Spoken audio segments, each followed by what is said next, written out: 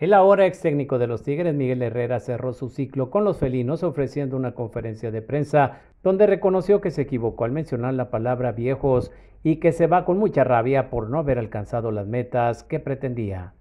Esta aventura que teníamos, me puse la camisa de los Tigres bien puesta, con mucho orgullo, con, mucho, con mucha entereza, con una gran este, responsabilidad.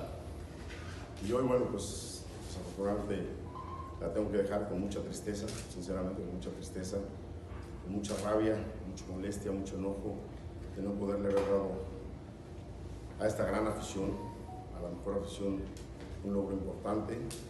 Estábamos en proceso, había un buen proceso, pero desafortunadamente, bueno, soy, se toman decisiones que uno como empleado tiene que aceptar.